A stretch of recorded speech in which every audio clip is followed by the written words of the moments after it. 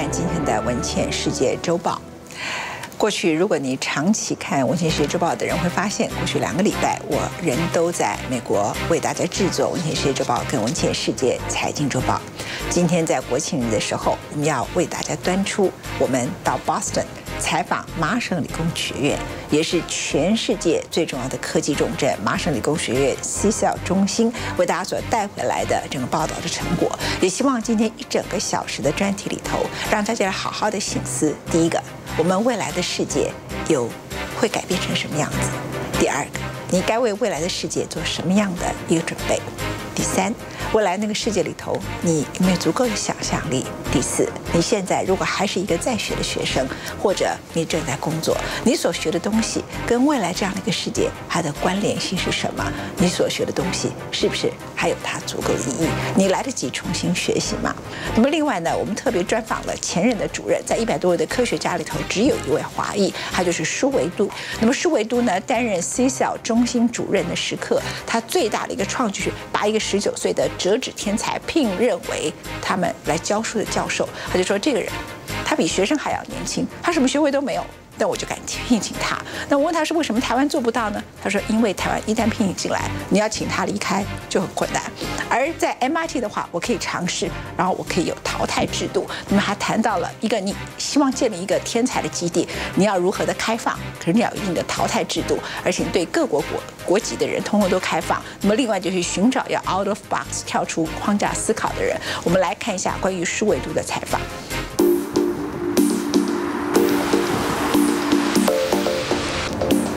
美国麻州剑桥市这栋深具科技感与未来感、线条歪歪扭扭的建筑，正是麻省理工学院名闻遐迩的电脑科学与人工智慧实验室 CSL 所在地。建筑鬼才法兰克·盖瑞的设计，颠覆一般建筑循规蹈矩的线条，也正呼应着这间实验室的终极本质：不拘泥常规，跳出框框。你如果中国人讲是怪人。可是对我们来讲是 unusual is good，不是怪。MIT 早已是尖端科技的代名词，CSL 更成为引领全球电脑科技与人工智慧的研究重镇。MIT 电脑科学教授舒维都接受《文茜世界周报》的专访，为我们分析何以 MIT 卓越不凡。在这个学校里面，我觉得最重要的一点呢，就是。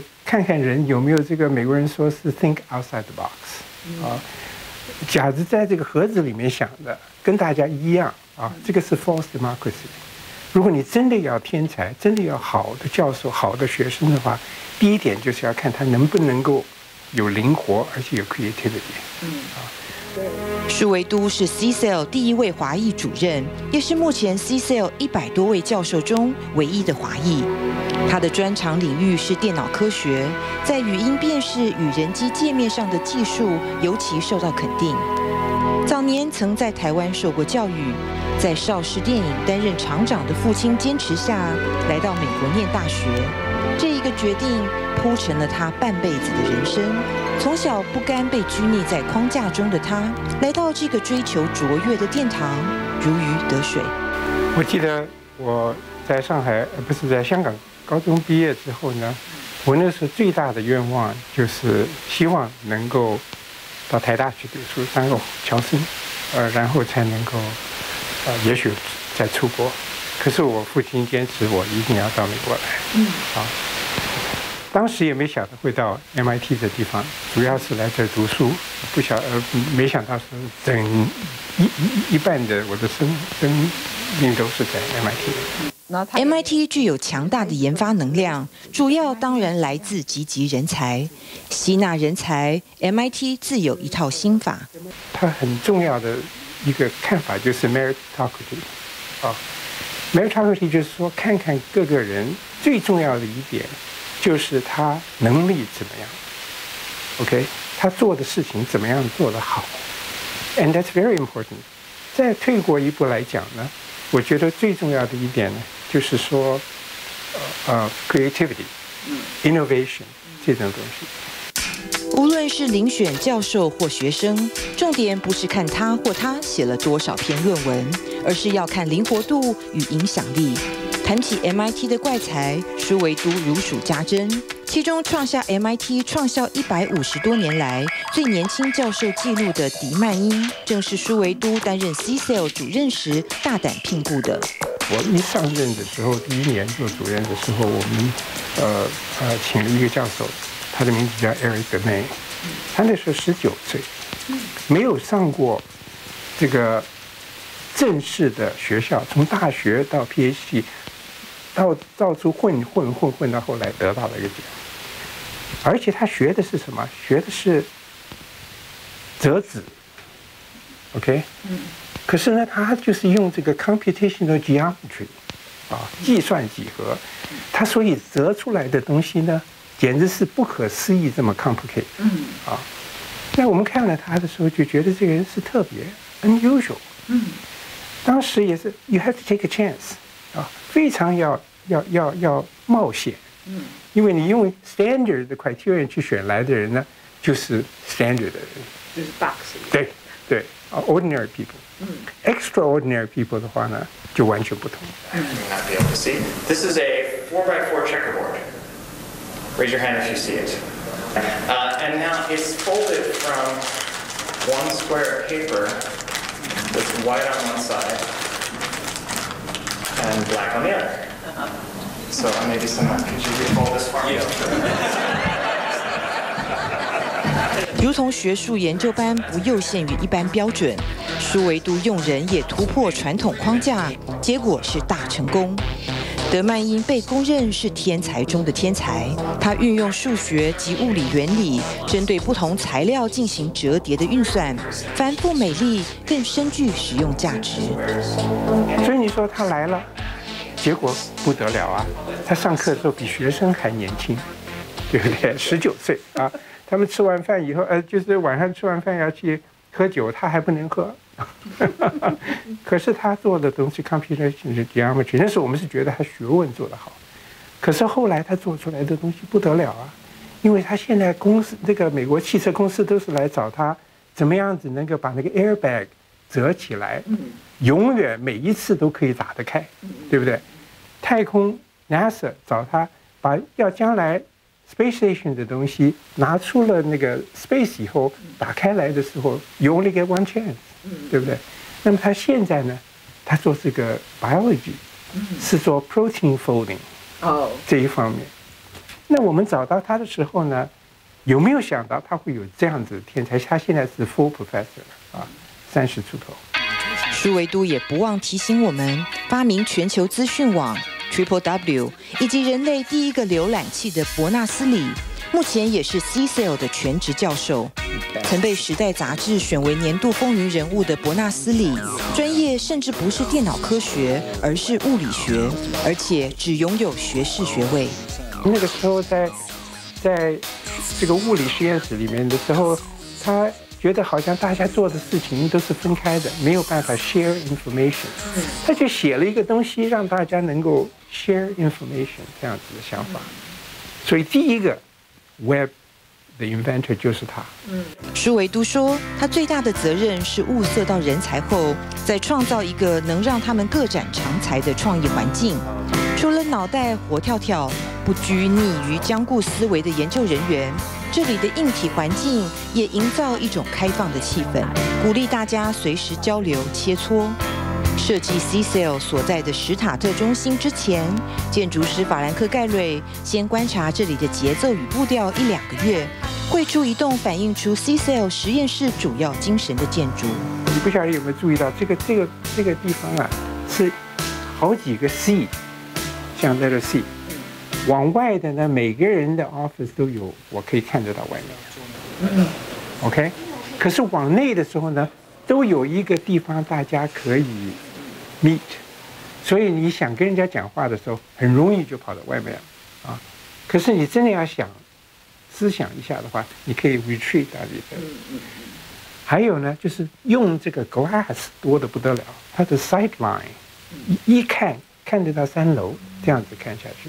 也是，就是我他注意到我们的生活是这个样子的啊。You need some private time. You need a lot of meeting time. 所以，无论是教职员用餐区，或是一楼的学生街，常可以见到群聚的教授、研究员或学生热烈的交头接耳。舒维都解释，这里容纳了非常多的集会地点，也欢迎别的系所、别的学院一起加入。此外，只要人在里面，办公室是不关闭的。我们这里的 policy 就是，if you're here, your door is open. If your door is open, anybody can walk in. 所以，again, creating opportunity，有人问你问题的时候，马上就可以。开放的心态也反映在校方对研究人员的创业上。CCL 前身人工智慧实验室的主任布鲁克斯，也是舒维都口中另一个怪才。来自澳洲的布鲁克斯，就是能见人所不能见，甚至颠覆一般机器人开发者的想法。以前呢，大家的想法就是说，一个动物或者一个昆虫动的话，哪一个脚往前，哪一个脚往后，这个都是完全是 completely programmed by 他们的头脑。他的想法就是完全不同。他说，一个动物要 survive，它可以做 locomotion 的话呢，只有大概三五个 principle。OK，evasion，go forward，go home，这种各种不同 simple goals。然后他把他他的这套理论，就就跟实跟大家的以前做 robotic 完全不一样。嗯。那他的想法不同，可是他成功了。嗯。你想他的 vacuum cleaner 做出来的就是这这非常简单的一个看法啊，就是大家一条路走的。有的人就是会 think different，往往往一个岔路走，他就这样。布鲁克斯一路从教授、系主任、C-Cell 实验室主任，接着一连创办两家公司 iRobot 和 Rethink Robotics。扫地机器人 Roomba 在全球已售出超过一千四百万台。也已在 Nasdaq 上市，市值超过十亿美元。舒维都笑说，有能力从教书、研究，还可以开公司，进而成功，这样的人不多。真有这个能力，一定要鼓励他。你看 Stanford 跟 MIT 的制度，跟台湾的制度，你就会发现简直是天地之分。看法啊，我们这里如果一个教授有好主意，他要出去开一个公司的话。不管是 Stanford、MIT、Berkeley 这种好学校，哦，去去去，我们帮你忙，对不对？Because 你的对社会的这个 contribution 不是只在学校这一段时间有，啊，你也要教人家怎么样能够 innovation，怎么样能够有从 innovation 做成 business。我在台湾的常发现有些呃教授们开的公司。好像还觉得这个哈学者不应该做这种事情，还要把它瞒瞒瞒的哦，这不是我开的，是我的学生开的，这样子。觉得谈起这些怪杰，自己入选为美国国家工程院院士的舒维都与有荣焉。身为电脑语音技术与人机界面研究的先锋，分析起相关发展，他说最近十年改变非常大，但仍待克服的挑战也相当艰巨。人机界面用语音呢？是 skin deep，OK，真的要做成这样子的机器人的话，是有很多事情要做。嗯，嗯，你想想看，天天，呃，假如是呃你在家里面有个 servant，你要跟他讲的话的话，不是一句就解释完了，对不对？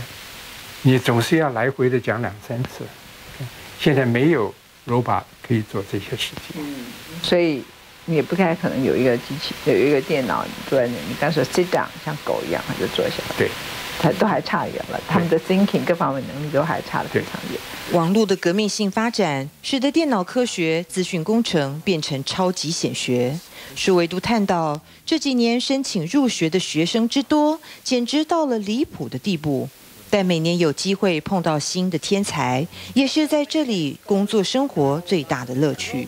我记得我刚开始做教授的时候，我有一个朋友就是 Senior Professor Oppenheim，他告诉我，他说你在 MIT 教授的时候，教授的时候，你每一次进去教室开学的时候，都是会战战兢兢。我说什么意思？他说在这些学生里，至少有一个比你聪明。嗯。啊。这样子的话呢，你只是你能教他，是因为你年纪比他大。天才与跳脱框架的思考带来活水，C Cell 实验室创意因而不绝如缕，不间断地为人类擘画科技远景。